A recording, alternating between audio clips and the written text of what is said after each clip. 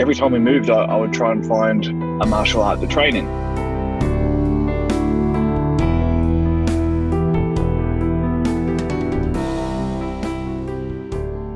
Hey there, everybody. Thanks for stopping by. This is Whistlekick Martial Arts Radio. It's episode 384, and today I'm joined by Coach Joe Saunders. My name is Jeremy Lesniak. I'm your host on the show. I'm the founder at Whistlekick, and martial arts is my life. You can find out all the projects that we're working on at whistlekick.com. And if you choose to buy something while you're over there, and I hope you do, helps keep the lights on, you can use the code podcast15 to save 15%. If you want everything related to this show, that's a separate website. That's whistlekickmartialartsradio.com. And that's where you'll find show notes, transcripts, photos, videos, links, and all of it available for free. We do the show twice a week, and we hope that you enjoy it. So please help us out a little bit. Share the show, leave some comments, make a purchase, just something. Help us keep going. Today, I'm joined by fellow martial arts podcaster, Coach Joe Saunders. It was a great conversation, had a lot of fun. We talked a lot about reality based martial arts and violence. It's a subject that's come up on the show a couple times before, and we've even exchanged some guests. I hope you enjoy listening as much as I enjoyed participating. So here we go. Coach Saunders, welcome to Whistlekick Martial Arts Radio. Thank you very much, Jeremy. I appreciate the invitation and uh, thanks for having me. Absolutely. I appreciate you being on. You know, you have the distinction of being one of a few guests who also have your own podcast. So as I tell the audience this, they're expecting amazing, great things out of both of us. well, don't expect too much because it is 5.30 a.m. at the moment where I'm recording from. So uh, I'll, I'll, try not to disappoint, but uh, uh, yeah, we'll, we'll, we'll see how we go. I've, I've only had one coffee, which is uh, probably about three less than I need, but we'll, we'll make Oh. do. We'll make do. Oh, well, I appreciate you waking up early. And yeah, I imagine, I, I always try to put myself in the place of the listeners. And I imagine when they hear, oh, the guest also has a podcast, these guys are going to be pros. They're going to knock it out of the park. And it, you know, it would probably be, probably be similar as, you know, you have two black belts who have never trained together, people with lots of experience, and they get together to, let's say, present a seminar Mm, that might not go very well because they don't know each other. They don't know when when to work together, when to leave each other alone. And that's kind of I mean that's that's pretty similar to what we're doing here today, isn't it? Yeah, that's right. But uh, look, I- I'm more than happy to be the Uke. You can be the Tori, and we can, uh, you, you step and I'll follow. If I do my job well, it's going to come across the opposite way. So let's let's let's dig into that and let's you know you're you're already throwing around Japanese terms, so that that that tells us something about your your uh your training time. So how did you get going? How did you find martial arts? Okay, so um, so uh, I'm from Australia. If uh, if my accent isn't giving it away, but um, I, I grew up um, with with brothers that were uh, much older than me. So um, had a sort of a, a blended family with um, both my my mother and father had previous marriages and uh, and kids from those previous marriages, and I was the the sole product of, of their second marriage each. And uh, so I had uh, two brothers that were 13 years and 15 years older than me. So I grew up as the, very much the baby of the family. I had sisters as well, but they're not not consequential to the story. sorry, sorry, sisters, if you're listening.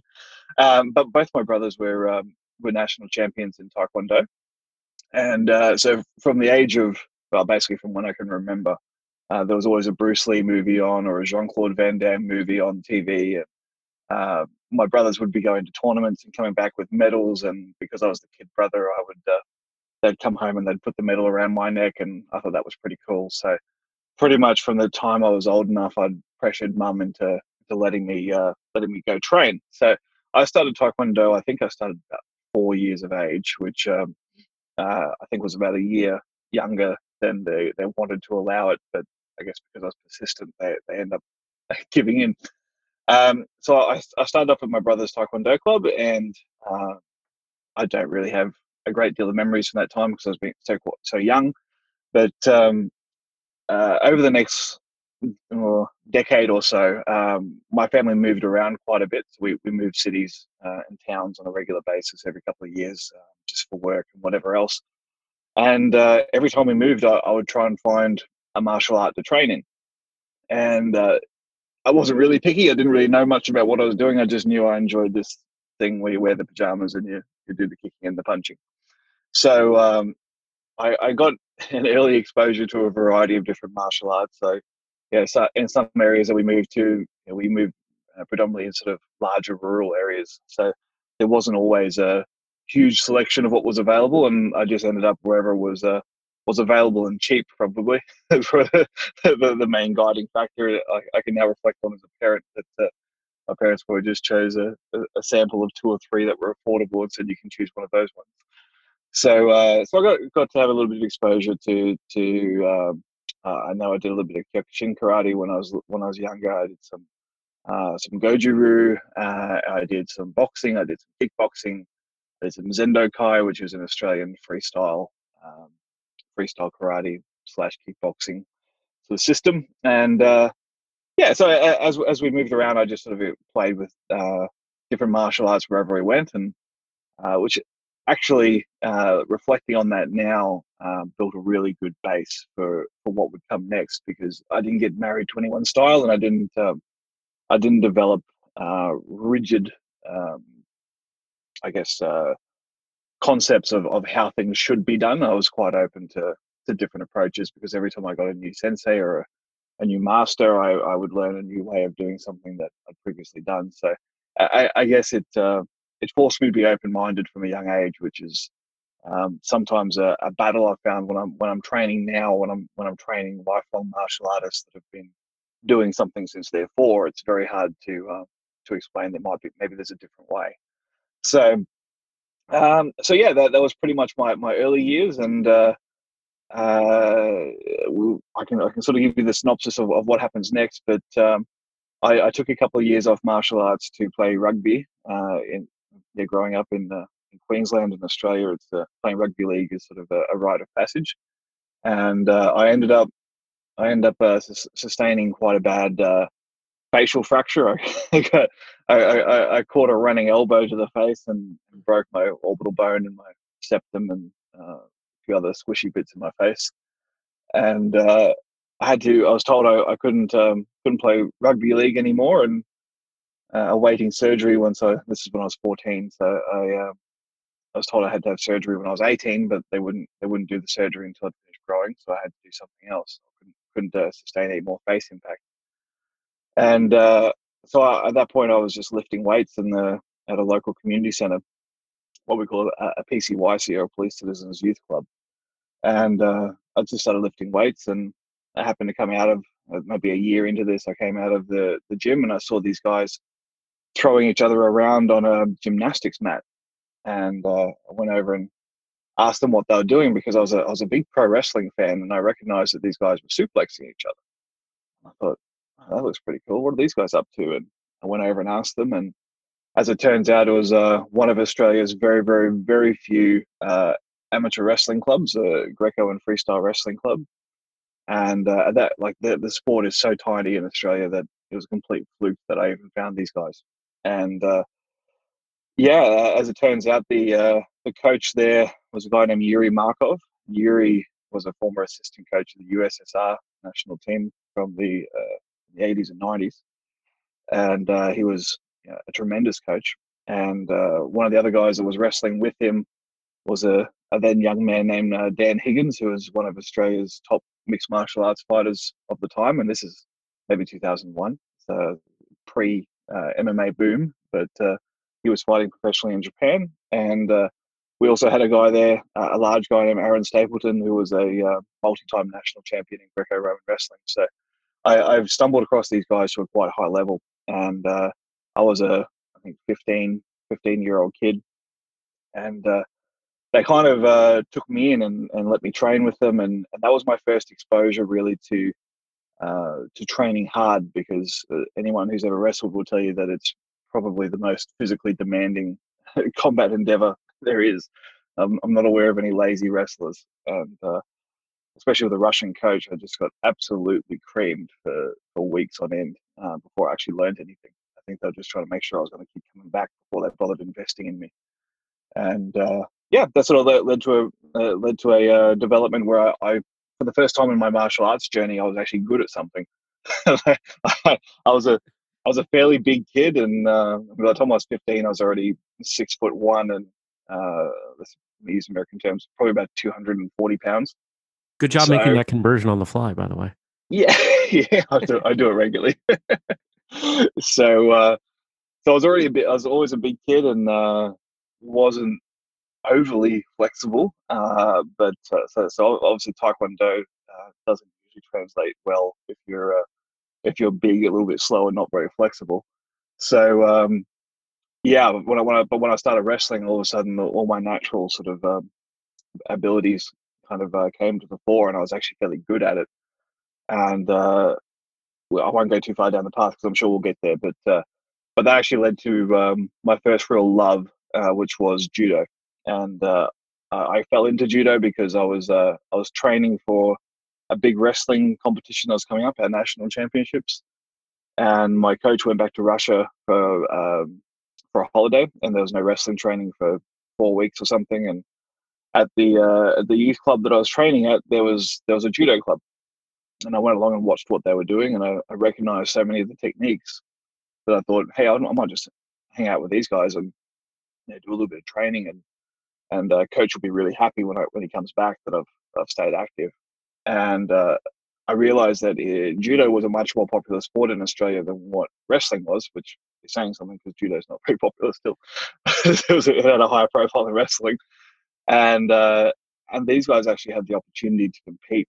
Um, yeah, every two to four weeks there was a new competition uh, that these guys could compete at, and being at that point 17 years old and um, having trained a lot, the idea of being able to compete and test myself was was very very appealing, and I decided to, off my own and uh, my own initiative, to, to sign up and do a judo competition, and uh, I ended up tearing my ACL in my first, sorry, my second match. so I lost my first match and then tore my ACL in my second match, and uh, that uh, that led to me having having to take um, 12 months off training to have a, have a knee surgery and rehab. And, and I had to tell my coach when he came back from Russia that uh, this big competition that he'd been grooming me for that I, I wasn't able to compete because I'd torn my knee doing judo. And he said, "Why did you do? Why did you do judo?" And I was like, uh, "I was trying to hit, trying to keep you happy." so, as it turns out, I mean, uh, we'll get into the story. I won't go too long, but um, uh, in the 12 months that I was away from uh, from actual training, I just became obsessed with studying judo, um, the history of judo, and the philosophies of Kano, and I, I got really enamored with um, with the art. Uh, I think it, I think it uh, was the exact right blend for me of something I was good at, being grappling, and and uh, the traditional martial arts influence that I'd grown up with. And uh, I think just blending those two together, and then I also liked the creativity that judo allowed, especially at the time. It was pre uh, a lot of rule changes, but uh, in wrestling, I always felt that uh, there was about five high percentage techniques, and and once you once you'd kind of got those techniques down, it became a battle of who was a better athlete. Uh, whereas with judo at the time, I felt there was uh, you know, there's 20 or 30 techniques that could all work, and it, and it allowed you a little bit more creativity with how you could apply those techniques and, and different styles that made for more interesting uh, interesting matches and strategic battles and so I, yeah, I, I, fell in love with judo at that point, and uh, that kind of led to the to the next stage. So uh, well, I'll, I'll stop it there because that, that gets me to about eighteen years of age. So that's that's my that's yeah. my youth. There's a lot there. There's a lot we can say, and and of course we can we can say you know because rugby beat you up pretty bad. You ended up finding judo, which beat you up pretty bad. Oh yeah, you yeah. Know, we can, we can start. Uh, we can say that. Um, I'm 20 years. I'm 20 years older in my body than what I am in my age. So. now I'm, I'm. I guess I'm curious, right? Because as you move move forward in time, talking about the different arts that you've trained in, and I am going to include wrestling in there. You know, whether or not mm. we want to call wrestling a, a classic or a traditional martial art. Plenty of debate about that. We don't even have to have that debate because I don't know that it's relevant but you talked about taekwondo when you were 4 mm-hmm. you know taekwondo you just kind of laid it out there but as you talked about later arts you got a, a, a little more engaged you you know I, I could hear a little bit more emotion coming through in your voice And even Sure. before you had talked about judo being this thing that you became passionate about, I could tell there was something different in judo for you. And and you know, not that that this is any kind of a video show, but it's no secret I, I keep notes as I'm talking to hmm. guests. And and when you first started talking, you know, I wrote down Taekwondo and I crossed it out. And within about 10 seconds of you mentioning judo, I wrote down judo. yeah, yeah, absolutely.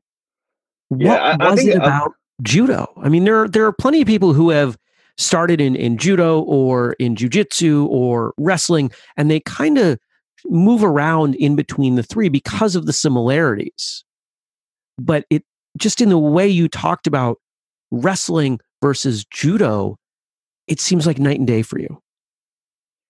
It's it was a very astute observation. Um, I, I think it was a combination of factors that so, some have to do with the art and some have to do with just the, the stage of my life I was at and uh, and, uh, some other sort of intangibles about that uh, that club and uh, and uh, I guess the decision to train there.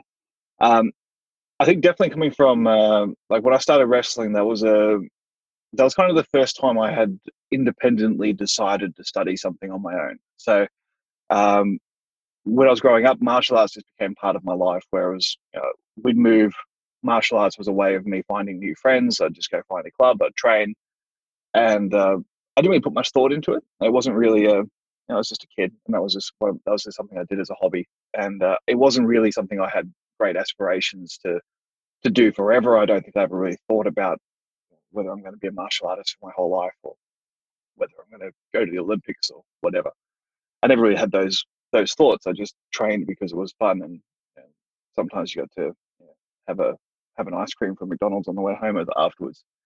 Um, whereas we, when I had that break for a couple of years playing rugby league and then came back, I, I had to I actually made a choice to to engage in in uh, this activity where I, I could have been one of the the millions of people that we all meet that uh, oh yeah I did a little bit of martial arts as a kid and I did I did you know six months of taekwondo or I did six months of judo or whatever. Yeah, you, you, everyone, we we have all these we all have these people in our lives that feel they need to tell us about how they did a year of something when they were growing up, uh, and that could have been me. And uh, but I but I made a choice to to come back. Um, and uh, wrestling started that because uh, it's as a- as a fairly unathletic kid, um, that was the first thing that kind of made me realize that I did have some ability to do something. It was just in a in a new skill set. And then judo kind of really brought it home for me because I had, the, as I said before, I had the existing skill set, plus it had the traditional martial arts, um, I guess, philosophies and the uh, the the culture and the etiquette and all that sort of stuff that, that was familiar to me and that I, that I loved from uh, from martial arts growing up. And there's also some uh, some factors that, that really have nothing to do with the art. It's just to do with the fact that I was uh, I was 18 by the time I came back to judo after my knee reconstruction, and uh, you know, I was I was finishing high school. I was moving into into university. Um, judo provided a, a social circle of friends that were of my own age, uh, which wrestling didn't have. Um, in wrestling, I was the I was the youngest by 10 years, so I was a I was a child getting beaten by grown adults on it every time we trained. So uh, so being able to hook up with other with other young guys that were my age and they had a social circle attached to it, and yeah, those guys became my best friends and uh, as well as my training partners and my later my coaches. So uh, I, I think yeah, I think there's elements of, of the style of judo that that enamored me, but also just elements of the the social side of where I was at in my life and what the judo club provided. Interesting stuff. Mm. And you've hinted a couple times, you know, as, as you, you talk about the chronology of your your life growing up, you know, finding different martial arts, and you know, you said that you you're, you're kind of drawing a line in the sand roughly at, at 18. We know that you s- you know continued training judo as you got into university, but you've kind of alluded to the fact that there's there's more, and I suspect that the more isn't just more judo. Am I right? Yeah, that's right. So Okay. uh, So so where where did where did judo take you next? Right. So judo took me into competition. Uh, I I love competing. So I, I'm uh, i- if you if you can explain the rules to me in less than an hour, I'll have a crack at just about it. So I and even if you can't explain the rules, if the consequences of breaking them aren't that bad, I'll figure it out. so I um I became a I became very obsessed with with competing in judo and uh, and anything that was remotely similar. So uh, I was very fortunate that I that I was part of a very strong competitive club, and I and I progressed quite early. Um, within six months of coming back from my knee surgery, I um, sorry six months of returning to the mat after my knee surgery, so probably eighteen months post op. Um, I was at, I won a, a, an international open. Um, within twelve months, I won a national title, and then uh, made an Australian team uh, and competed internationally. I won a, a national university games, so I, I was able to uh, I was able to uh, to scratch that itch competitively with judo. Uh, unfortunately, um, as anyone in judo will tell you, that it comes with comes at the cost of injuries and uh, and also no money.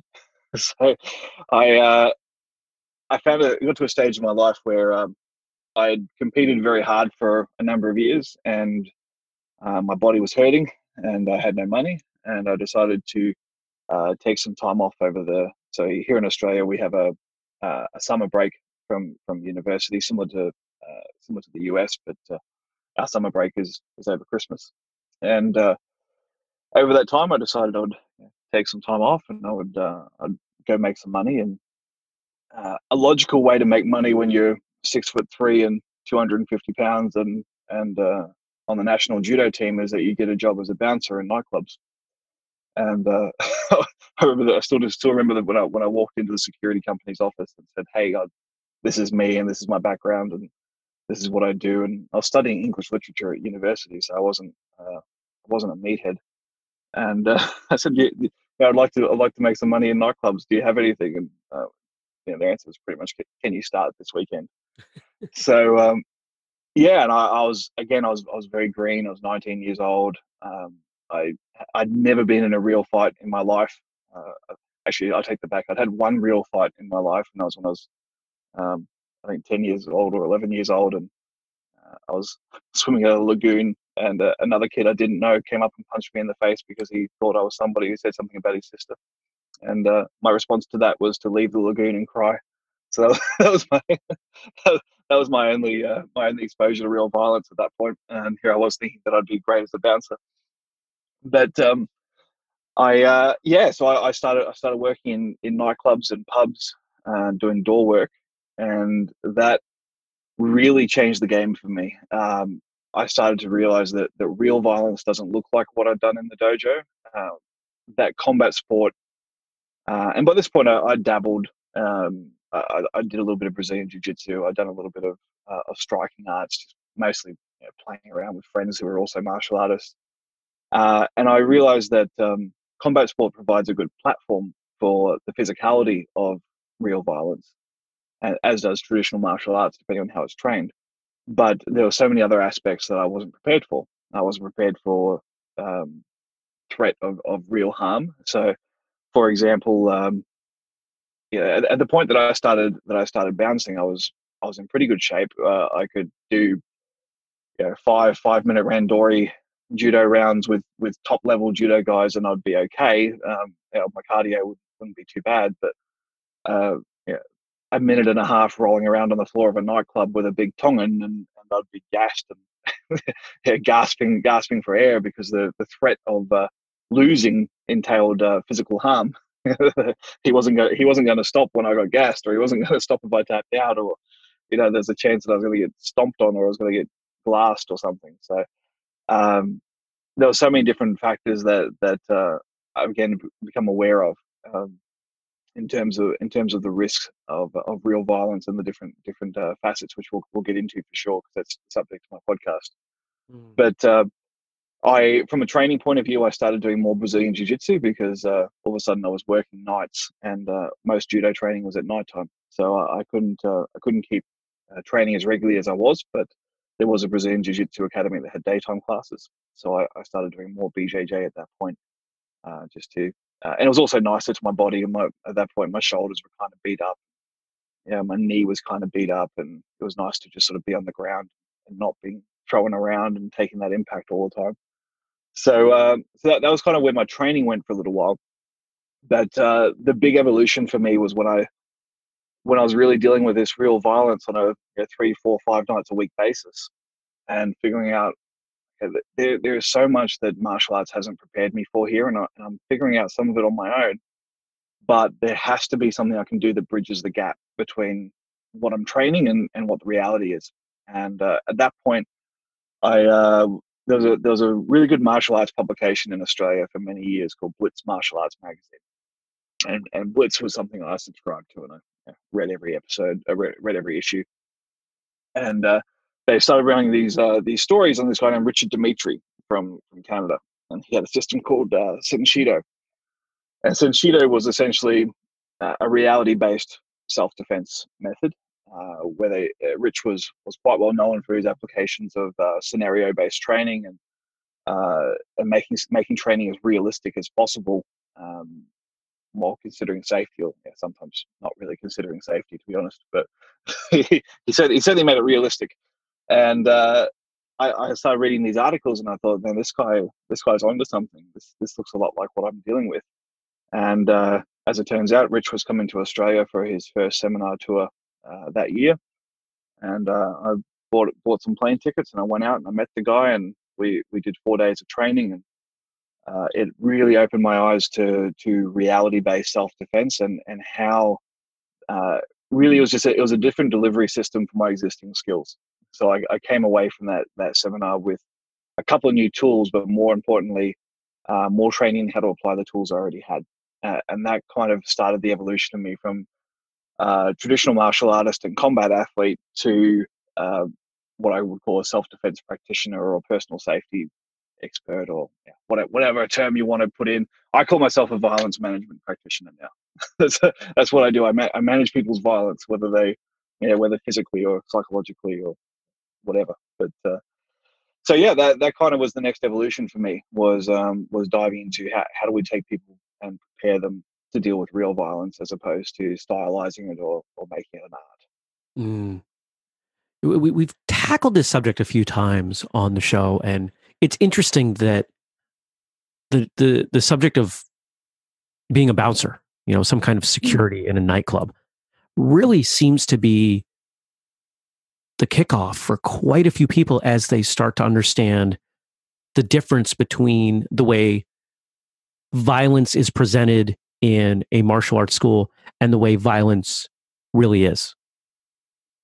I think it's just exposure. Um, I mean, most most martial artists you know, to, to be you know, to, to, be fair, I mean, most martial artists are fairly well-adjusted people. Uh, it might it might be a stretch, but I think most of us grow up with uh, you know, people that, that grow up studying martial arts on a, on a on a regular basis typically come from fairly stable environments. They typically uh, have some sort of positive influence in their lives, and they, therefore they're, they're not likely to go out picking fights. Uh, they, they don't usually grow up around violence because people who grow up around violence aren't usually concerned about finding a hobby. Uh, they're, they're concerned about surviving and, and, and, and getting fed. So, uh, because of that, I find a lot of martial artists don't have exposure to real violence unless they have an occupational exposure.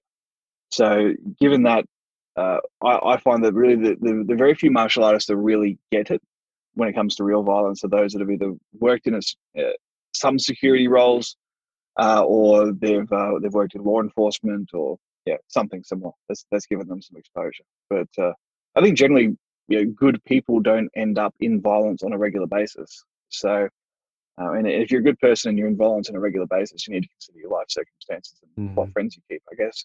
but um, I think that's that's probably why. I mean, it's for most martial artists to get exposure to violence, it's got it's got to be a choice.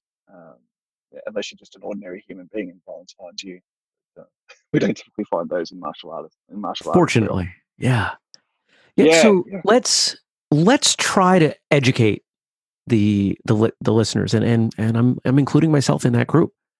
For those of us who have not spent time as a bouncer or in some sort of security role, mm-hmm. how do you summarize the differences between? And I guess you can use yourself as an example. What did you find that struck you as as odd or surprising as you started in this security role that made you say, "Wow, I I had no idea."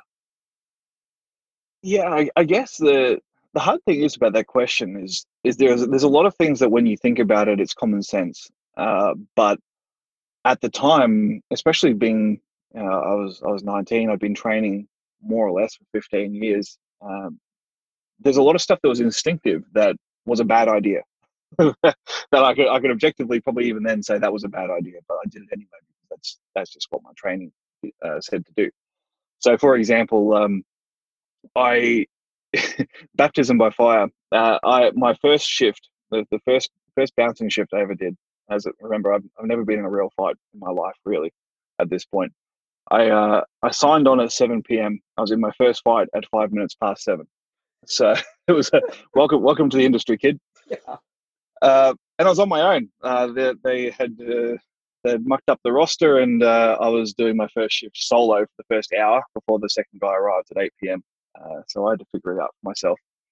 Uh, thankfully, I wasn't actively being attacked, but I was trying to break up a fight. There was a, there's a fight outside in the car park. One guy had the other guy bent over backwards over the the, uh, the hood of the car, and he was punching him in the face. And uh, I now know that he probably deserved it because very, very rarely do you end up with a fight like that between two people without someone instigating it. But um, my instinctive reaction was to obviously pull the guy that was uh, that was punching away, and the guy that was being hit was bleeding, and I put my body in between the two guys and literally kind of covered up the the the guy well guy I perceived to be the victim, and I covered him with my body and was getting hit in the back of the head, and I took I took about two or three shots before I realized that was a dumb idea because I've just sacrificed my safety for someone I don't know that I have, no context as to whether he's the, the good guy or the bad guy. I, it was just the one who was losing the fight the time that I became aware of it. Uh, and then I, yeah, I was able to, uh, uh, other people came and helped and, and separated them. As I, was, as I was nursing the lumps on the back of my head, I thought, you know, I need to come up with a better strategy than that. It's a, it's a dumb idea. Uh, but I was, I had a, I was kind of naturally a protector. Uh, my, my mindset was I, I protected people that were, that were weaker. And, um, I'd always been that way, even as a kid. I was always someone who'd, who'd step in and, and try and protect people. And uh, so that, that was that was one one sort of evolution. Um, being aware of weapons uh, became another thing. I, I, dealt with the I dealt with the guys with with knives occasionally, um, and there's always improvised weapons in that environment. So you're always thinking about bottles and uh, uh and glasses and and things like that. Um, the the multiple attacker situation, which you know, every martial art pays lip service to. If you have a multiple attacker, here's what you do. Um, but the reality of of bouncing is that uh, very few people are in the nightclub on their own. Um, but also you have to consider, okay, they're in a group, but who's going to fight? If this guy might be the loose cannon of the group, and no one else has any appetite for violence whatsoever, and you might have to deal with him, but his friends are going to stand back and go, "Well, that's just that's just Tom being Tom." And they're gonna they're happy to let him be dragged out, or um, you might have a whole group that are all going to start fighting at the same time, or you might you might have a group that are itching to fight the whole time. So uh, reading that group dynamic is important. Um, understanding the social hierarchy of of the group you're talking to. So, for example, um, uh, you, you, if you're dealing with a family that are that are getting rowdy and they need to be controlled, there's no point talking to the little brother. Uh, there's there's always going to be someone who has control over the group, and you need to talk to that person and try and build rapport there, as opposed to, um, yeah, just taking the, the most problematic person and, and, dealing with them first. So yeah, there's, a, there's an element of, of group psychology to be aware of. Um, uh, let me think. From a technical point of view, probably the, probably the thing that um, most martial artists don't really uh, wrap their head around for a little while is uh, is the law with use of force and uh, and appropriate levels of force and, and so on and uh, that is a really major stumbling block. Uh, and, and I, it still makes me shudder when I see some martial arts teaching self defense with no regard for what the law will say about what this technique is doing. So, for me as a bouncer, I mean, you can glorify the violence and you can say that uh, you know, I was in real fights uh, three nights a week or whatever. But um, the reality is, the vast majority of my quote unquote fights were removing intoxicated persons who refused to leave, uh, and uh, they weren't actively aggressive a lot of the time. They were just passively aggressive. They were just trying to resist or pull away or escape, or yeah, they might have been sort of flailing their arms, but they weren't a real threat. So my my inbuilt reaction to that flailing arm was to throw an oblique click, uh, oblique kick, and uh, collapse his knee, uh, and then cripple the guy, and he can't work for six months, then well, that wasn't very good self defense because I'm going to find myself in court. And and unfortunately, I think a lot of martial artists who are uh, who are operating in uh, yeah. So some people say, well, what's what's uh, what's the difference between reality-based martial arts and traditional martial arts? Well, if, if the traditional martial art is good, there's not a lot of difference, but it's the difference between reality-based martial arts and fantasy-based martial arts. Uh, I, I, find a lot of martial artists are just uh, uh, they're, they're, they're, they're, they're operating in a fantasy world that um, that they hope one day they'll, they'll they might have a chance to be Bruce Willis and Die Hard, but the reality is they, they don't really know what they're talking about. So mm. I think that, yeah, that you understand the use of force, understanding the legal repercussions of violence, and that you know, we live in a civilized society, most of us, um, and uh, you can't just go around practicing your martial arts techniques because you want to see what it looks like for real. Uh, you have to you have to understand the whys and the hows, and, and be prepared to deal with the aftermath. Um, and probably also the the last factor I'd, I'd throw in there as a big one is is understanding that violence isn't over when you think it's over. Uh, you, like the, the, fight isn't over when someone taps out. It isn't over when the person leaves. The, the fight is over once that person has decided it's over. So we had oftentimes we'd throw someone out of a club and you know, not even not even harm them in any way, just remove them, and, and they'd come back three hours later still holding a grudge. And sometimes, thankfully, not anywhere I worked, but it wasn't uncommon for someone to come back and try and stab the bouncers or uh, for guys to be have incidents in the car park. I, mean, I, I, was followed home three hours after I removed these guys, and uh, they, they, followed me home back to my back to my parents' house at the time. Uh, and thankfully, I was able to shake them before uh, before I got to their house. But uh, yeah, there's stuff like that that you just don't think about in your in your uh, your bunkai. how you're going to handle that situation?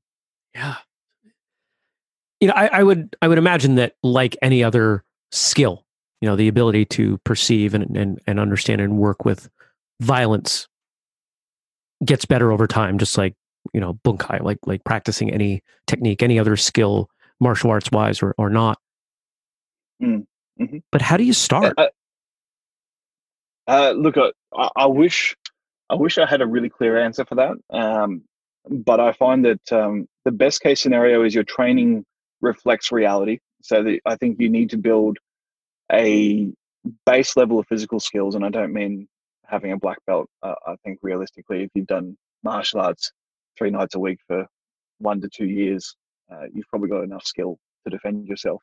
Uh, and depending on the quality of instruction, you can shorten that learning curve dramatically. But uh, I think for most people, one to two years in a in a style that has a little bit of contact and a little bit of pressure, um, you've got the you've got the physical skills.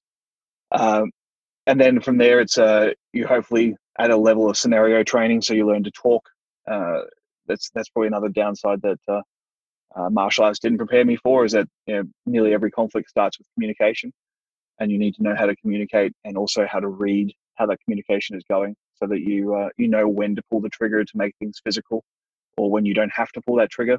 And uh, I find the larger caliber of the larger the caliber you're packing, the the longer you can wait before you pull the pull the trigger. So um, I always encouraged uh, my my fellow bouncers to train because it gave them more confidence that they could talk longer and understand that if it if it went if things went pear shaped, they'd still be okay because they trusted their training. So I actually found that um, the more physically adept someone is, the more patient they can be when they when they're dealing with someone who's, uh, who's aggressive and violent, uh, which was an interesting side effect. But um, I think yeah, I think I think you need a base level of skills, scenario replication, and then you've just got to do it. There really isn't. There's nothing that prepares you like doing it. Uh, and uh, I wish I wish I had the magic ingredient that bridges the gap between the, that training and, and reality. But uh, the, the, best you can hope for is that your bridge gets you ninety you percent of the way there, and it's just the last ten percent you've got to figure out. Mm. Whereas I found I came in, my bridge got me about 30% of the way there. and, I, and I had to take a really big leap to, to cover that, that last 70%. Uh, so my goal when I'm training people now is to is to make that leap as, as short as I possibly can. Yeah. Yeah. And and the one thing I will speak to on this subject, the one sliver of understanding I have that's relevant here has to do with some of the drills that you can run within schools. And I, have been very fortunate that some of my instructors have been very aware and again because just as as with you because of personal experience outside of their martial arts training. They understood the difference between traditional martial arts and the application of what you've learned in a, a Mm. real violent scenario. And a lot of the drills that when when I was younger, the higher ranks were taken through had almost nothing to do with technique and skill. They had to do with adrenaline. Yeah, You know, 100%. and and I've been lucky enough because of Whistlekick that I get the opportunity to travel around and train and and and oftentimes lead instruction. And one of the things that I will go back to time and again, if I'm not sure if if nobody has anything else they want me to work on with them, if if they're not quite sure what to do, that's usually what I'll pull out is some of these, admittedly to me, very fundamental, quote unquote, reality esque, you know, and I and I underscore esque very much Mm-hmm. drills and watching you know third fourth fifth degree black belts that when confronted with a little bit of adrenaline and a free form situation have no idea what to do. They can execute their forms and they can they can spar at, at different you know under different rule sets incredibly well. But the moment it becomes even a tiny bit real they break down Yeah, yeah, and, and to be honest, I mean, it's it's not their fault. It's it's something that's um that that's they haven't been trained for, uh, and I- and I think this is um even just getting away from the the idea of um of real violence for a second. I mean, I, I think that sparring is critical. Uh, I mean, if you're not learning to apply your skills, uh, whether you want to call it sparring, kumite, randori, rolling, whatever, if you're not learning to apply your skills against someone who's actively resisting, uh, and there's not some risk to yourself, whether it's being hit, whether it's being submitted, whether it's being whatever, then you are nowhere near reality because the the, the re- real violence in, in, involves risk and uh, and it involves timing and distance and application of pressure and, and power and, and all that stuff that you just can't get hitting a bag or or doing kata up and down a hall. Uh, you you need to have a live opponent who's resisting you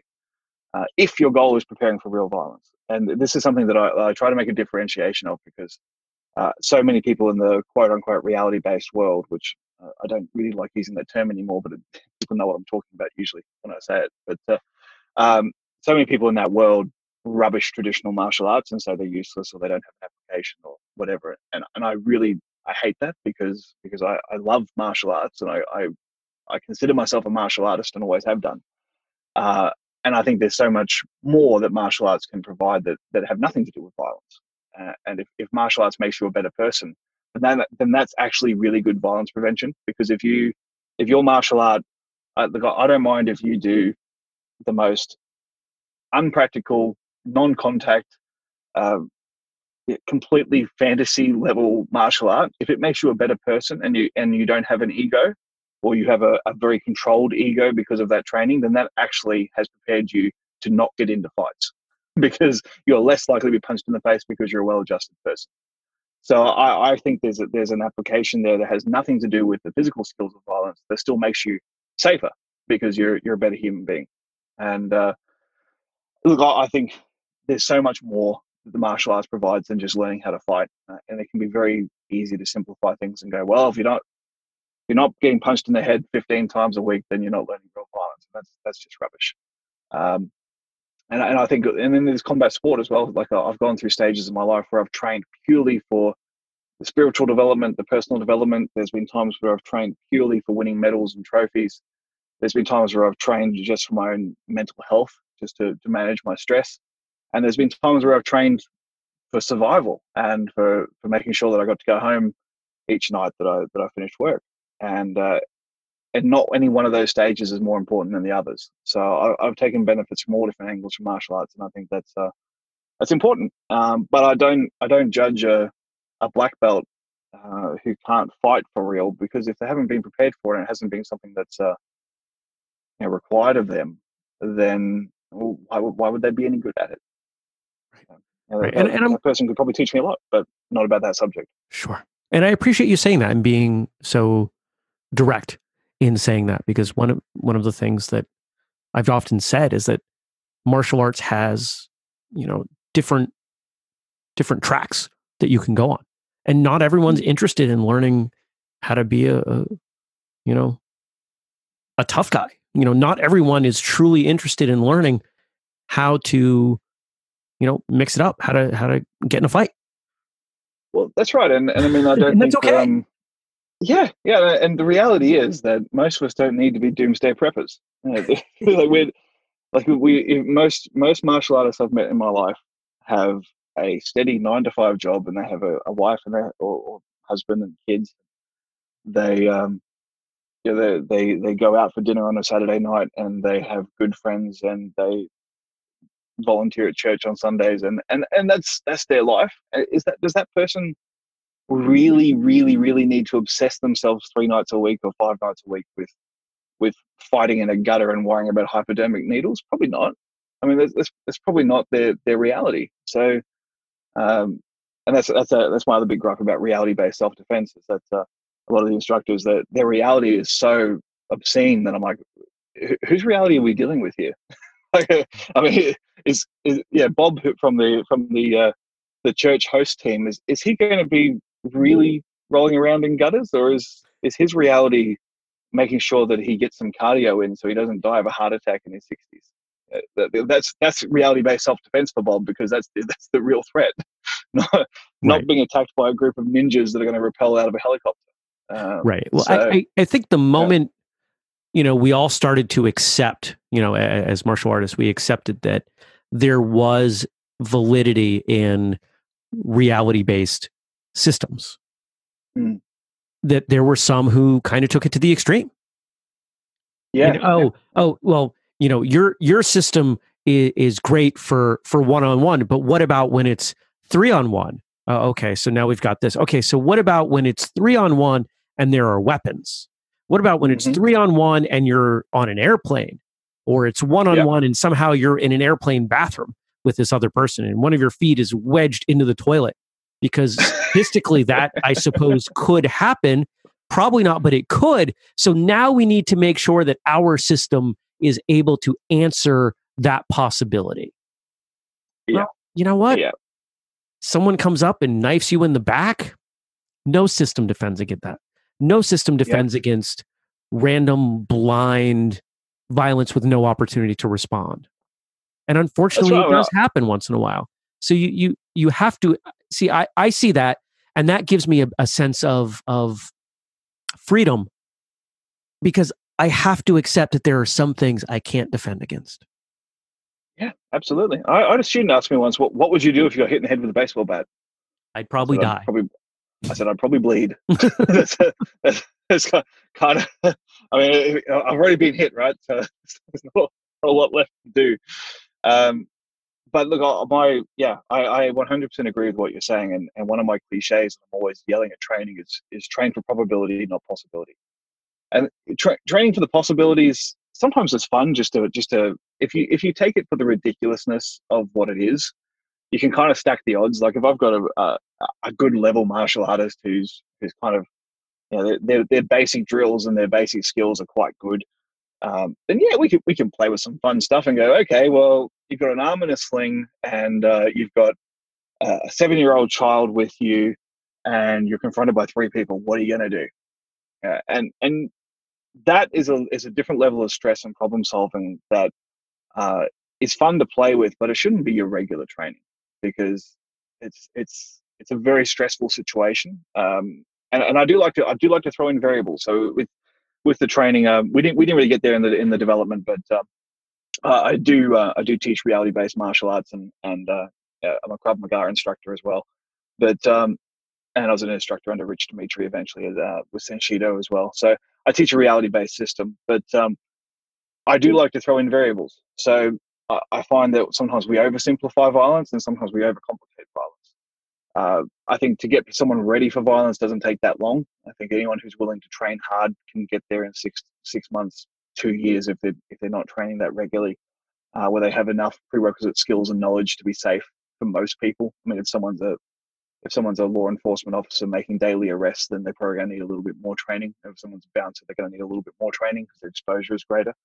But I think we can overcomplicate things by adding in so many variables that we forget that the skill set's actually fairly basic.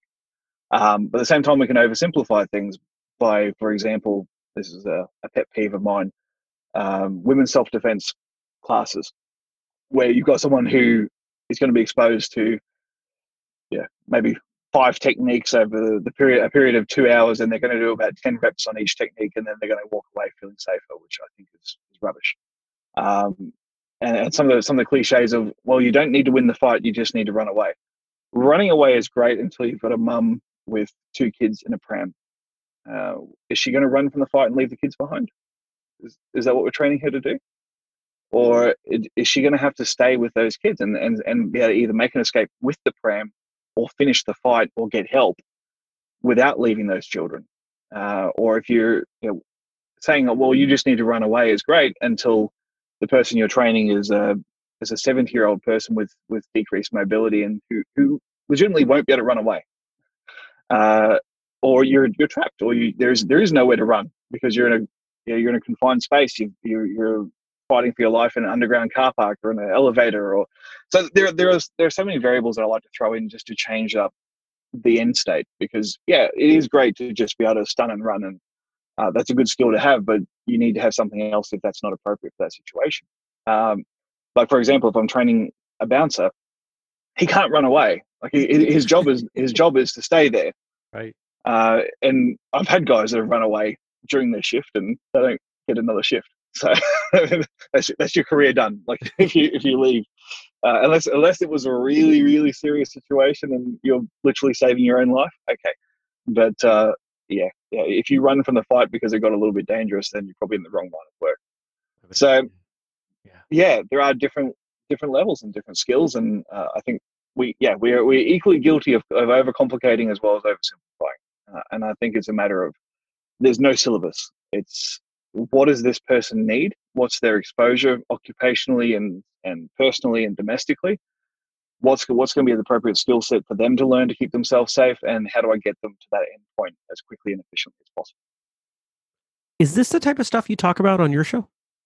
Yeah, it is. Yeah, okay. yeah. I actually talk I talk about a variety of different subjects about surviving violence. Um, it's not always martial arts. Uh, obviously, this is a martial arts conversation, but um, right. uh, well, take a few minutes and tell the audience. You know, I, I think everyone knows I have I have no problem encouraging folks to listen to other shows. I I hope they continue listening to this one. But you know what? If somebody finds a show that better resonates for them and they don't have time, I, I prefer people, you know, get well, the, the knowledge and the the entertainment from the shows that they want. So take a few minutes and tell people about your show. Sure. Okay. So so my show is called the Managing Violence Podcast. So if you just search for Managing Violence podcast, it'll it'll come up in pretty much every podcast platform that's out there. Um, and the the idea of the Managing Violence podcast was was taking what I do professionally. So my my professional my, my day job is uh, I'm aggression. And sorry, let me start again. My day job is I'm an aggression management specialist.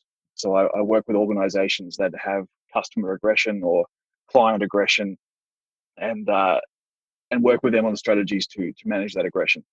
So I was taking a lot of what I teach uh, my clients and uh, and putting it into a a, a podcast or a, a, a, uh, an educational tool that anyone can access.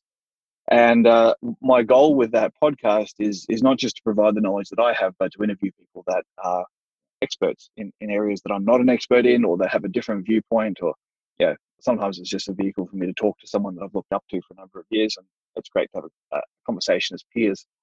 But um, I, I, look at violence from all different angles. So we can be too easy. It's too easy to fixate on the physical of violence, and why you there's only so much time you can spend worrying about how to defend against a, a right looping overhand uh, punch. When what we should be talking about is situational awareness and understanding risk profile and understanding uh, what kinds of people get into fights and what kind of people um, will pick fights and understanding how predators think and uh, and and uh, predatory groups versus predatory individuals and target selection and victim identification and all these sorts of subjects that are so important because if you understand all of that then you don't have to worry about being punched because you weren't there in the first place uh, or you weren't an attractive target in the first place. So we talk about those sorts of situations uh, we talk about the, the truth of surviving violence and what the most important um, most important attributes are. And uh, as a as a spoiler alert, the least important thing is your knowledge of technique. Um, the most important things are your your mindset, your physical fitness, and your uh, ideally an, ex- uh, an exposure or an experience with violence. Uh, we talk about um, criminal psychology. We talk about sociology. Uh, I've uh, I've had experts from healthcare, from mental health, uh, mental health practitioners on the show, talking about um, the risk that they, that they deal with on a regular basis, dealing with patients who, uh, through no fault of their own, are quite they can be quite violent. That um, that due, due to an illness, they're they're unpredictable or explosive, or dealing with psychosis or whatever. Um, I've had experts from, so I've had uh, Matt Larsen, who's a lifelong martial artist and director of combatives at West Point Academy, on the show, and that was a fascinating conversation about not just training but also uh, just about the psychology of, of combat and uh, his work in that field. Uh, we've had uh, experts from uh, from the training world. Had a couple of overlapping guests from the, from this show as well. I've had uh, Gershon Ben Keren, yeah. Uh, he was he was one of my early guests. I've had Rory Miller uh, as well, who's been on this show, uh, and uh, I, am really interested in talking about the preventative side of violence as opposed to the physical. Uh, physical, I think, it's very hard to learn physical self-defense in, in, an audio platform, but you can certainly learn a lot about psychology and prevention of violence uh, through that platform. So that's that's my focus for the Managing Violence podcast is uh, is equipping regular people and martial artists alike to be safer without making them too paranoid. Hopefully. Mm, great. And of course, folks, we're going to link to everything that's relevant to this conversation and, and help you find Coach Saunders' show. Uh, you know, our, our links are at whistlekickmartialartsradio.com, of course. This is this has been good stuff. So we've spent time talking about the now, We've spent time talking about the past. Let's talk about the future. Mm-hmm. You know, sure. when you consider your your career and everything that you've got going on and your training, what are you looking forward to? Well, I'm looking forward to uh, one of your listeners deciding to fund my operation and uh, and allowing me to, uh, to to record podcasts full time. well, get in line because they haven't done that for me yet. I got dibs. Uh, actually, it's, it's, interesting. I'm I'm in a I'm in a kind of a fun stage in my journey at the moment where uh, uh, I've mentioned a couple of times. I think preparing yourself for violence doesn't take that long. Uh, and to, to be completely honest and, and to be uh, to be transparent about um, my own training at the moment, I mean, I, am a big guy. I'm I don't present as an easy target, and I've done a lot of training over the years. So, and I feel like I have a pretty good handle on uh, all the preventative stuff when it comes to, when it comes to violence. So I don't really train for, for self defense that much anymore. I, I, train to keep my skills sharp, the physical, you know, perishable skills. I, I, train those to keep them sharp. But uh, in terms of my motivation, I'm fairly confident that I'm that I'm okay uh, when it comes to if, if violence were to visit me or my family, I feel like I'd probably I'd probably manage it okay. Um, so that's not my motivation for training anymore. Um, and uh, I I did find myself adrift a little bit in terms of my own training, not not just you know teaching is one thing. So teaching it depends on uh, what, what, the students need, but um, for my own training, I found myself a little bit adrift and wasn't sure uh, where I wanted to progress next and uh, quite funny because the the end of last year, uh, my I've got four kids. I've got four daughters. So yeah, you talk talk about having a need for self defense. I've got I've got I've got four daughters under seven. So uh, uh, the uh, the teenage years are going to be fun. But um, my oldest two um, started getting to an age where they wanted to do some uh, yeah, some sort of sport. Uh, so the first thing I wanted to do was obviously enroll them in judo and hope hope they enjoyed it and I took them to a friend's dojo. And I hadn't been on a judo mat in five years at that point. And uh, just through work and life, uh, I'd sort of stopped training judo and was focusing more on teaching and, and what I was doing professionally.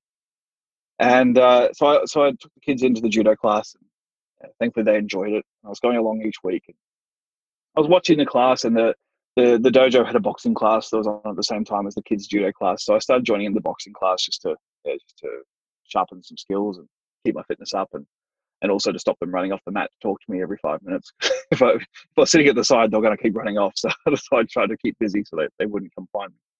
But um, after a little while, I was like, you know what? I should get the gi back on. I should, I should go help out. Uh, I was watching sometimes that, yeah, they'd have two adult instructors and 40 kids running around and it was chaos. And I thought, you know, I, I should be helping. I'm already here. I may, I may as well get on the mat and help with the kids. So uh, that progressed, and then I was like, well, yeah, there's an adult class that comes straight after. I, oh, maybe I should get on and and you know, have a little bit of a roll and and you know, have some fun. And so I, I, got on the mat and I thought this doesn't feel as bad. Like, I'm not as rusty as I thought I was. It kind of feels like home. And uh, yeah, obviously things were a little bit laggy. Sometimes when you haven't trained for a long time, you your brain knows that you know something from there, but by the time you think of it, yes. the moment has passed. Yes. And uh, so I battled that quite a bit. Whereas I was like, I know what to do. I know what to do from here, but I can't think of what to do. Oh, I know what it was. Ah, oh, it's gone. So uh, that was that was my my existence for a little bit. And then uh, I um, I thought, you know what, I'm feeling pretty good, and I'd really like the kids to get into competition because I, I think, uh, especially for my oldest daughter, I thought competition would be good for her because uh, I think there's a lot of lessons that you can only learn from, from sport and from competition, and I thought she'd benefit from it. But she was very uh, very risk adverse. She did, she wasn't interested in, in competing, and uh, I thought, you know what, maybe if she sees me compete, because yeah, I'd done all my competition before my kids were born. But maybe she sees me compete, that um, it might yeah, lower that barrier to her. So I started talking to my coach uh, about uh, about competing again and doing some local competitions, just low level stuff. And, and we, we decided on a game plan. So yeah, that's cool. We can do that. And then I, I started talking to him about so who, who are the who are the top heavyweights in the area? Like who, who are the top guys in my division that I should be aware of? And he gave me a couple of names and said these are the guys that are currently on the the national team at your at uh, in your division and and I said well how good are they and he said well uh, because my coach has actually known me from my my previous competitive career as well so uh, he said look if you uh, if you got back to where you were and you put in a good six months of training you you'd be competitive and you can't really say that to, to someone who's a natural competitor without sort of stoking the fire a little bit so I was like well hang on a minute in a period of three months, I went from I'm going to take my kids to the dojo to um, yeah, maybe 2020 Olympics is not out of reach. so nice.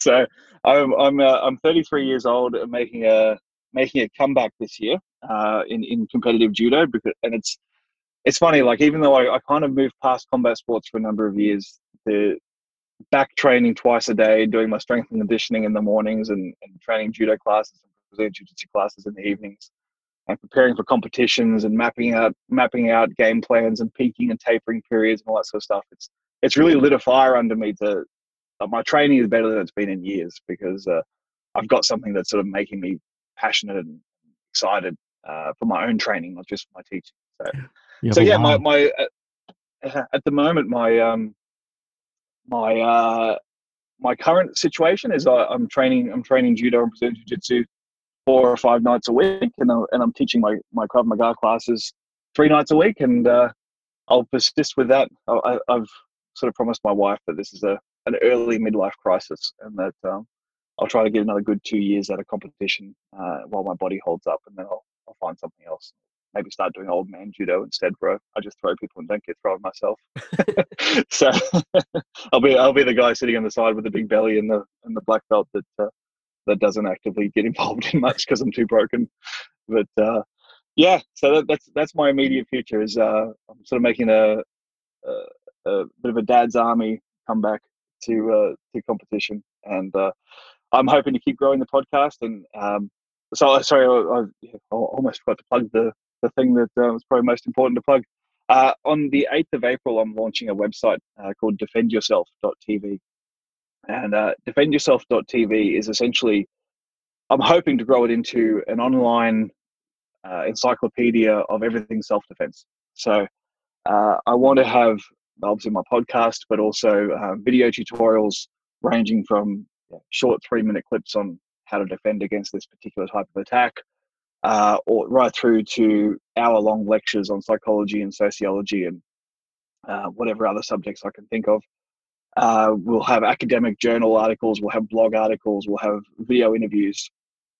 Uh, basically, anything I can think of that will be relevant for learning how to protect yourself against violence, uh, that will go on defendyourself.tv. Uh, and I'm also hoping to have an instructor uh, portal as well, where we can uh, we can share drills. I'm very big on creative drills. I like to I like to make training interesting, and I've got a lot of ideas on on how we can drill that and, replicate reality in a safe and engaging, hopefully entertaining way. Uh, because we're we any instructor knows that the uh, the commercial pressures of, of teaching martial arts demand that uh, you can't just be educational. You also have to be provide some level of entertainment, or else people won't spend their money to keep coming back and seeing you.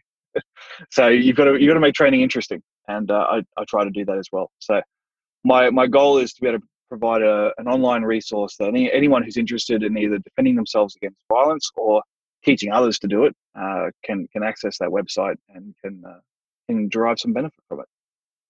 Sounds like a wonderful resource, and if if I'm reading the calendar right, this is going to come out just before. So if you're listening to this episode, that website should be up. Perfect.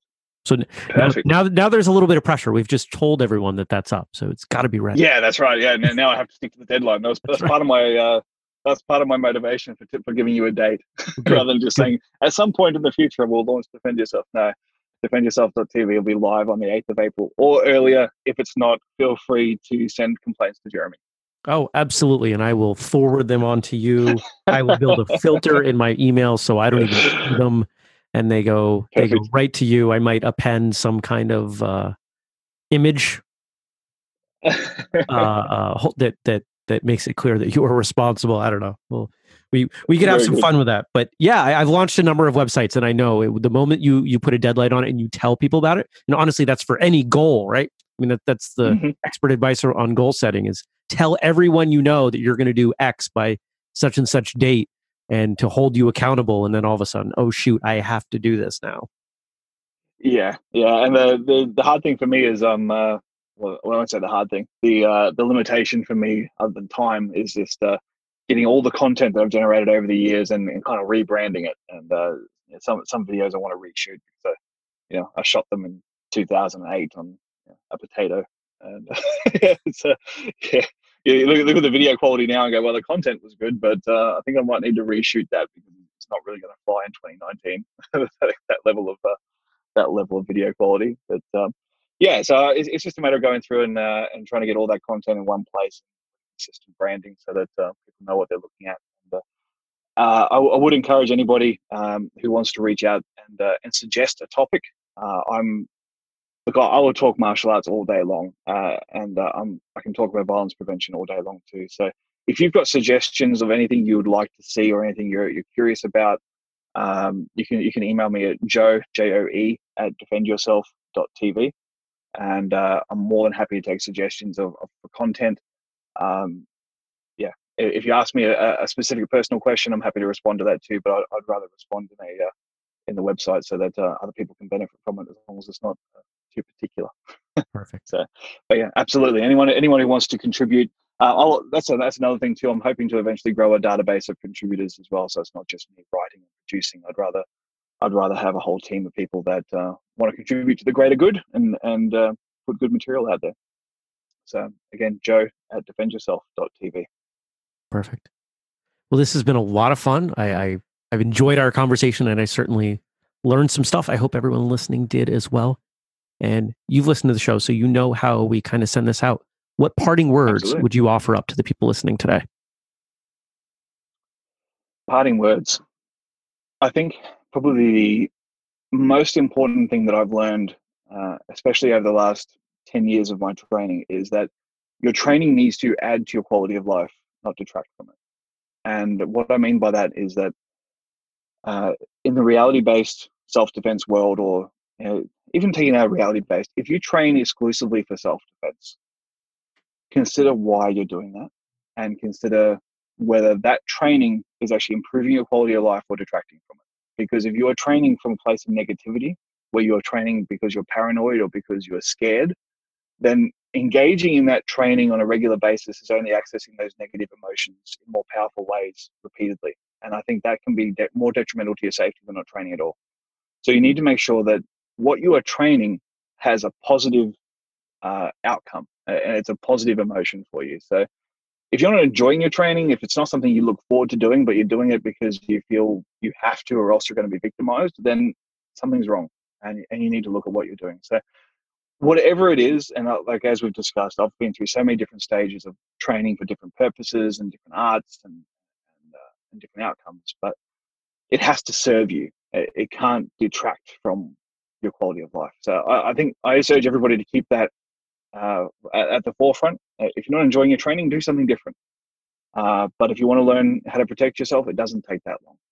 you don't you don't you don't have to train for 10 years and, and get a black belt before you if you have to have a black belt before you can learn to fight then uh, your, your instructor's not very good sorry but uh, yeah uh, that'd be my that'd be my takeaway is, is enjoy your training do what makes you happy uh, because longevity uh, in the martial arts is, uh, is is one of the secrets uh, uh, if you if you can persist and keep keep enjoying it and keep doing it for a number of years it, it'll it'll keep giving back to you but uh, if you don't enjoy it then you won't get any of those benefits I love when I have other podcasters on the show. It just makes my job so much easier. We get to have a better conversation.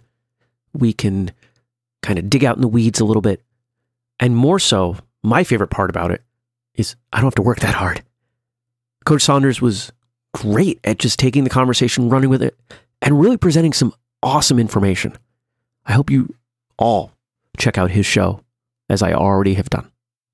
If you want to find the show notes with links to that show and everything else he's got going on, head on over to whistlekickmartialartsradio.com. Check that out there. Don't forget, Podcast 15 gets you 15% off everything at whistlekick.com.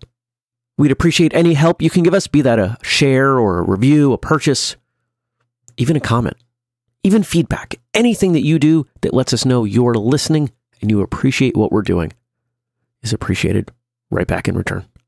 Find us on social media. We are at Whistlekick on Facebook, Twitter, YouTube, and Instagram. You can email me directly, jeremy at whistlekick.com. And I love seeing those emails come through. Until next time, train hard, smile, and have a great day.